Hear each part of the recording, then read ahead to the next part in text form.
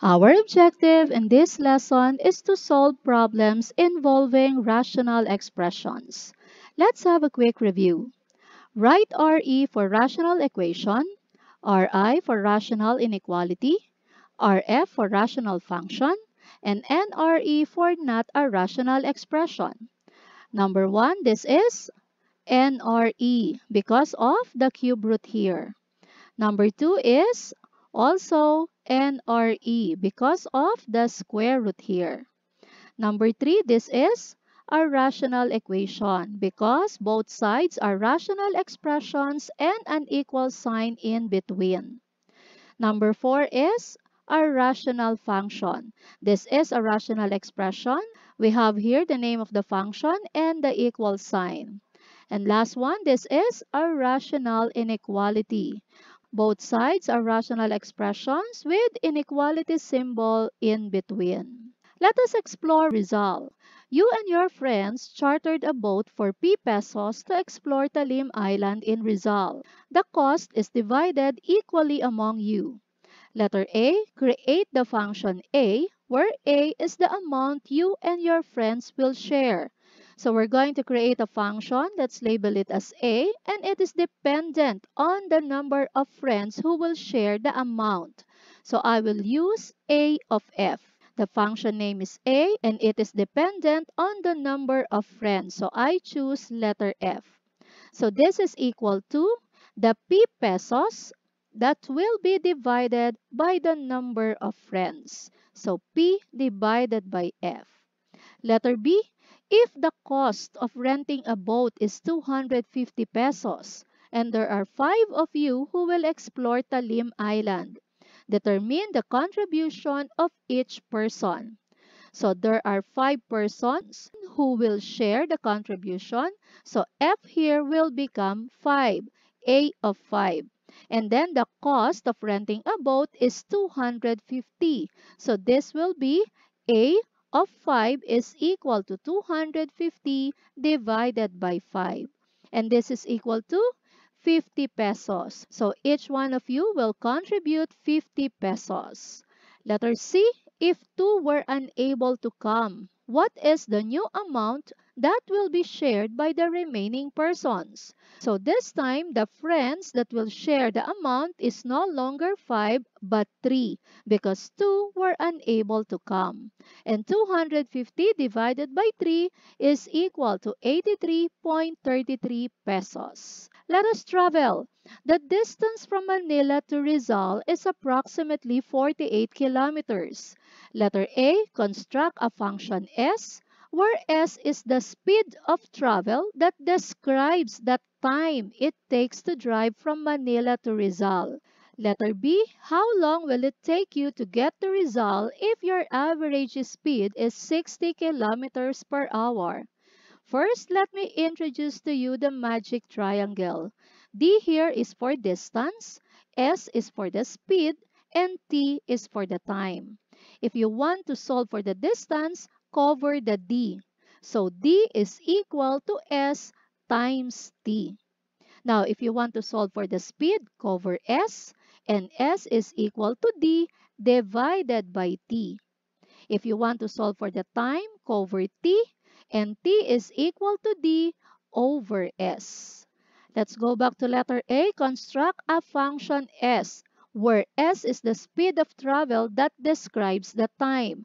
So function s, we're going to use this formula. s is equal to d over t, but the speed is dependent on the time. So s of t is equal to d over t.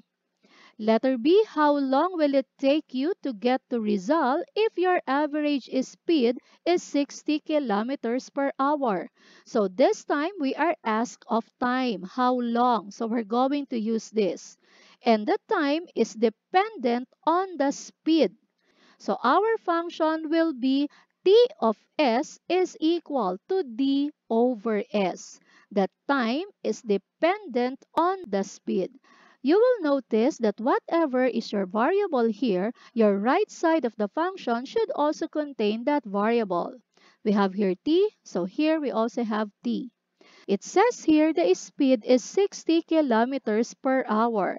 So our S here is 60. So this will be T of 60 is equal to D is given and that is 48 kilometers. So 48 divided by S. Again, S is equal to 60, the speed. And 48 divided by 60 is 0.8 hour, not even a 1 hour. To give you an idea, let us convert 0.8 hour to minutes. 0.8 hour times 60 minutes divided by 1 hour. So this hour here will cancel out. 0.8 times 60 is equal to 48. So 48 minutes, not even 1 hour. So what are you waiting for? Come on, let us travel to Rizal. Next, twice a number and 9 divided by 3 is less than or equal to 7. Find the number or numbers. Let's create an equation here. Twice a number and 9. So that would be 2x plus 9.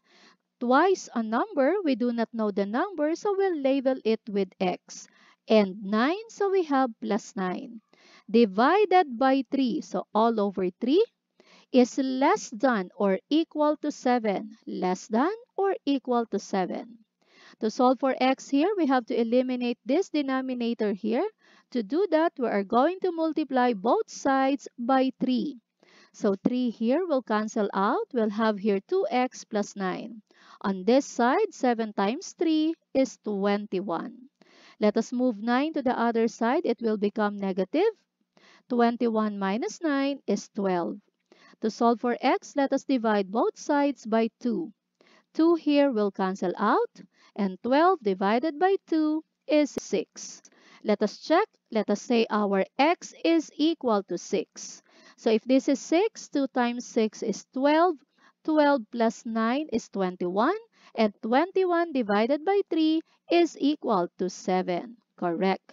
Now, what if our x is equal to 3? 2 times 3 is 6. 6 plus 9 is 15. 15 divided by 3 is equal to 5. And 5 is less than 7. Also correct. Again, the numbers are x is less than or equal to 6. Let us have work problem. A tank can be filled in 6 hours and can be drained in 9 hours. If the drain was accidentally left open for 6 hours while the tank was being filled, how long will it take before the tank is completely filled? For work problem, you have to understand that if the work is done, then that is equal to 1. Now, let's have a table for this. For the fill, a tank can be filled in 6 hours, so meaning the rate is 1 over 6. It means after 1 hour, the tank is 1 sixth filled. The drain, it can be drained in 9 hours, so the rate is 1 over 9. While filling the tank, the drain was accidentally left open for 6 hours. So we are asked now, how long will it take before the tank is completely filled? So the rate for filling is 1 over 6. We are asked how long will it take, so that would be x. As the tank is being filled, the drain was accidentally left open. So the rate for drain is 1 over 9. We are going to subtract that. For how many hours that the drain was left open? For 6 hours. So we're going to multiply the rate of drain by 6. How long will it take before the tank is completely filled, meaning the work is done? So this is equal to 1. First step here is to solve for the LCD. The LCD of 6 and 9 is 18. 18 divided by 6 is 3 times 1 is 3 times x is 3x. 18 divided by 9 is 2 times 1 is still 2 times 6 is 12 minus 12. Copy equals 1. To eliminate this 18 here, we're going to multiply both sides by 18. So this 18 here will cancel out. We'll only have 3x minus 12 on the left side and 1 times 18, 18 on the right side. Let us move negative 12 to the other side. It will become positive. 18 plus 12 is equal to 30. To solve for x, let us divide both sides by 3. This 3 here will cancel out. 30 divided by 3 is equal to 10. So this means it would take 10 hours to completely fill the tank. It would have been 6 hours only. But since the drain was accidentally left open for 6 hours, it would take 10 hours to completely fill the tank. Another one, Renz is aiming for a 90% mark. So far, he answered 12 out of 15 questions correctly. How many items does he need to answer correctly in a row to reach his goal? So far, he answered 12 out of 15 questions correctly and that is 0.67. We are asked how many items does he need to answer correctly in a row. So from 12 over 15, we are going to add the number of items that he needs to answer correctly in a row. So that would be plus x. Whatever is the number of items you add here will also be added in the total number of items. But this time, he wants his mark to be 90%, so equal to 0.90. To eliminate this 15 plus x here, let us multiply both sides by 15 plus x. So this 15 plus x will cancel out. On the left side, we'll only have 12 plus x. Now, for the right side, we have 0.9 times 15 plus x. Let us copy 12 plus x. 0.90 times 15 is equal to 13.5. 0.90 times x is 0.90x. Let us combine like terms. Let us copy x here. Let us move 0.90x on this side. So this will be minus 0.90x. Let us copy 13.5. Let us move 12 together with this constant. It will become minus 12. The numerical coefficient of x here is 1. So 1 minus 0.90x is 0.10x or 0.1x. 13.5 minus 12 is equal to 1.5. To solve for x, let us divide both sides by 0.1. This 0.1 here will cancel out. 1.5 divided by 0.1 is equal to 15. So this means Renz needs 15 correct answers in a row to improve his mark to 90%. Let's jog. To lose weight, Justice needs to jog every day. He already jogged for 20 kilometers at a rate of 10 kilometers per hour. How many kilometers more does he need to jog to spend at least 3 hours? Let us have again our magic triangle. This time we have D for distance, R for rate, and T for time. If we want to solve for distance, let us cover D, and D is equal to rate times T. If we want to solve for the rate, let us cover R, and R is equal to D divided by T. And if we want to solve for the time, let us cover t. And t is equal to d divided by r. Now, it says here to spend at least 3 hours. At least 3 hours, meaning you cannot go below 3 hours. So, it could be greater than or equal to 3.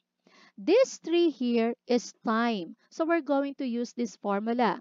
Distance divided by the rate. The distance is already given 20 kilometers and the rate is also given 10 kilometers per hour, so divided by 10. We are asked how many kilometers more does he need to jog. So we're going to add additional distance. Distance is x and the rate is constant which is 10. So plus x over 10. To solve for x, let us first eliminate this 10 here. Let us multiply both sides by 10. So 10 here will cancel out, leaving us 20. This time, this 10 will cancel out, leaving us x. 3 times 10 is 30. Let us move 20 to the other side. It will become minus 20. And 30 minus 20 is equal to 10. So this means justice needs to jog greater than or equal to 10 kilometers more to spend at least 3 hours of jogging. Let us do extra challenge. Shinji found out that he can row 6 kilometers upstream in the same amount of time that he can row 10 kilometers downstream. If the current of the water is 3 kilometers per hour, find Shinji's speed in still water.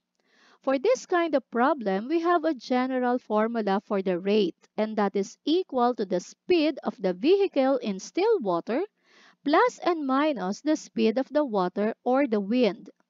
Let us let x be the speed in still water and let c be the speed of the current. You are actually dealing with three speeds in this problem. The speed in still water, the speed if you are going against the current, and the speed if you are going with the current. So let's have a table. Upstream and downstream, distance, rate, and time. The distance for upstream is given and that is 6 kilometers. For downstream, that is 10 kilometers. Now, for the rate, again, that would be the speed of the vehicle in still water and that is what we are asked in this problem. So this will be x plus or minus the speed of the water or wind. The speed of the water or the current of the water is 3 kilometers per hour. If you are going upstream, you are going against the current. So this is minus 3. If you are going downstream, you are going with the flow of the current. So this will be x plus 3. Now for the time, let us recall our triangle. If we want t, let's go over t and that would be equal to distance divided by r. We already have the distance. We already have the rate. So our t is d divided by r. So 6 divided by x minus 3. For downstream, it would be 10 divided by x plus 3. It says here, same amount of time. So the time is spent going upstream is equal to the time spent going downstream. Let's do a little shortcut here. Let us do cross multiplication. 6 times x plus 3 is equal to 10 times x minus 3. 6 times x is 6x.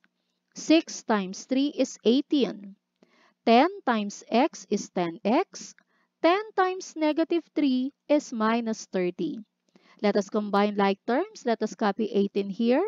Let us move negative 30 together with this constant. It will become plus 30. Let us copy 10x. Let us move 6x to this side. It will become minus 6x. 18 plus 30 is 48. 10x minus 6x is equal to 4x.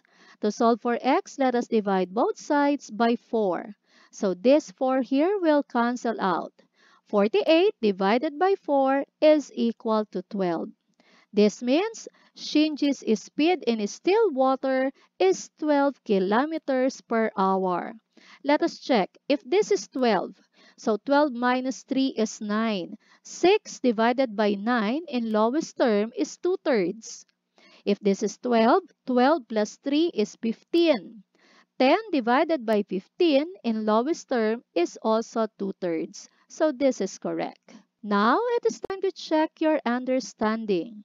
Pause this video for more time.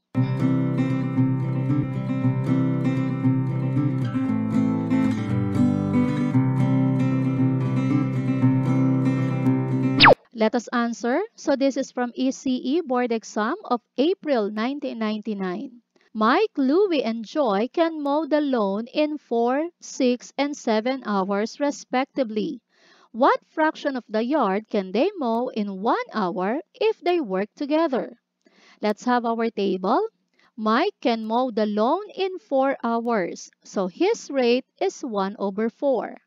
Louie can mow the lawn in 6 hours, so his rate is 1 over 6. And Joy can mow the lawn in 7 hours, it means her rate is 1 over 7.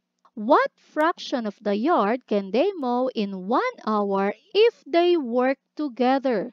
work together. So meaning we are going to add their rates. So we have 1 fourth plus 1 sixth plus 1 over 7. Now, for how long they work together? For 1 hour. So we are going to multiply their rates by 1 hour. So what fraction of the yard has been finished after working together for 1 hour? This is equal to x. We are asked what fraction have been finished after working together for 1 hour. The next thing to do here is to determine the LCD. Let's have a quick review in determining the least common denominator. All you have to do is to determine the prime factors of the denominators. Let us start with 4. 4 is equal to 2 times 2 or 2 squared. 6 is equal to 2 times 3. 7 is equal to 7 times 1. Afterwards, you're going to choose the prime factors having the highest exponent. Let us have 2. So here we have 2 squared. Here we have 2 to the first power. 2 is greater than 1, so we are going to choose 2 squared. Now, for 3, we only have 1 3, so we're going to choose this. Same thing with 7. There are no other 7 here, so we're going to choose 7. 1, it doesn't matter. It will not affect our LCD. So again, we choose 2 squared, 3, and 7. We are going to multiply those. 2 squared is 4 times 3 is 12 times 7 is 84. So our LCD is 84. 84 divided by 4 is 21 times 1 is still 21. 84 divided by 6 is 14 times 1 is still 14. 84 divided by 7 is 12 times 1 is still 12. Copy equals x. 21 plus 14 is 35. 35 plus 12 is 47. So 47 divided by 84. So if Mike, Louie, and Joy work together for one hour, they can finish 47 over 84 of the loan. To give you an idea, let us convert this into decimal. This is 0.56 or 56%. So after working together for one hour, they have finished 56% of the loan. Gets? Our next topic is one-to-one -one functions.